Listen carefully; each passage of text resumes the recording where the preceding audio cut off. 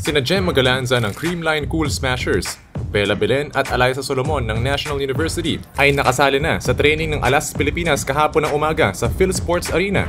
Sina Galanza, Belen at Solomon ay ang mga bagong dagdag sa training pool na nagsimula ng maghanda kasama ang AVC Challenge Cup bronze medalists bago ang FIVB Challenger Cup mula July 4 hanggang 7 sa Ninoy Aquino Stadium. Ang three-time PVL MVP naman na si Tots Carlos, gayunpaman, ay hindi pa nagsasanay kasama ang koponan dahil sa isang minor injury.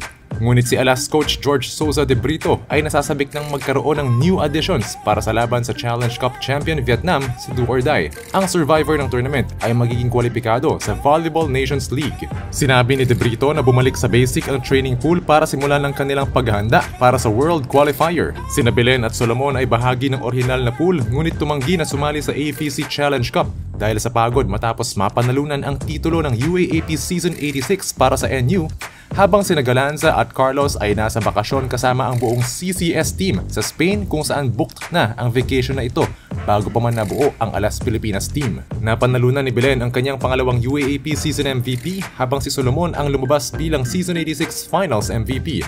Pinangunahan naman ni Galanza ang cream line sa isa pang All-Filipino title at nakuha ang Finals MVP. Nagpapagaling pa rin ang University of the East rising star na si Cassie Dongalio mula sa shoulder injury, ngunit bahagi siya ng pangmatagalang plano. Sina Belen, Solomon at Galanza ay sasamahan ng Challenge Cup best setter Gia de Guzman at best opposite spiker Angel Canino. Gayon din sina Cici Rondina, Ea Laure, Fifi Sharma, Thea Gagate, Don Macandili Katindig, Cherry Nunag, Del Palumata, Faith Nisperos, Jennifer Nierva, Ara Panique, Julia Coronel at Fanny Gandler. Ang kupunan ay nagpunta kamakailan sa South Korea para sa isang friendly match kontra Daegu.